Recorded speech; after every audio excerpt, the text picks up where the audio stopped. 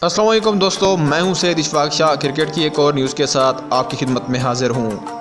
دوستو، شہین شاہ افریدی وسیم مکرم کے نقش قدم پر چل پڑے ہیں۔ انگلش کانٹی نے پاکستانی پینسر کو ٹی ٹوینٹی بلاسٹ کے لیے سائن کر لیا ہے۔ وہ پورے ٹورنامنٹ کے لیے دستیاب ہوں گے۔ وسیم مکرم دو ہزار تین میں کاؤنٹی کی جی نمائندگی کر چکے ہیں۔ ویڈیو کی تفصیل میں جانے سے پہلے ویڈیو کو لائک کر دیں اور ہمارے چینل کو سبسکرائب کر لیں تاکہ آپ کو کرکٹ کے متعلق ہر نئی آنے والی ویڈیو سب سے پہلے مل سکے۔ دوستو، پاکستان کرکٹ ٹیم کے نوجوان فاسٹ بولر شاہین شاہ افریدی نے ہمپسپائر کاؤنٹی سے معاہدہ کر لیا ہے۔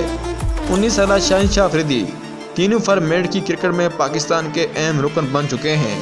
اپنی شاندار بولنگ کی وجہ سے شاہین شاہ افریدی مختلف لیگز میں ٹیموں کی توجہ کا مرکز بن چکے ہیں۔ اب انہیں کاؤنٹی کرکٹ کھیلنے کا موقع بھی مل گیا ہے۔ کانٹی ہیمس فائر کے اعلان کے مطابق شہین شاہ افریدی کو اگلے ٹی ٹوینٹی بلاسٹ کے لیے سائن کر لیا گیا ہے۔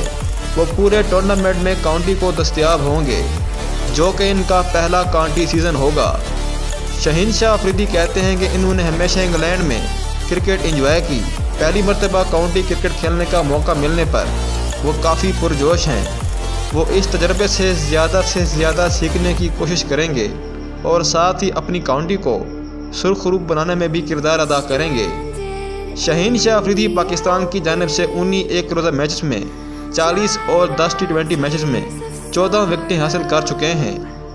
انہوں نے ورلڈ کپ دو ہزار انیس میں چھ میچز میں چودہ اشاریہ تریسٹھ کی اوسط سے سولہ شکار کیے اور محمد عامر کے بعد ایونٹ میں دوسرے کامیاب ترین پاکستانی بولر رہے۔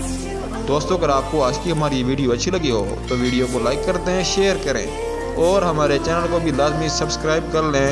شکریہ۔ اللہ نگہبان۔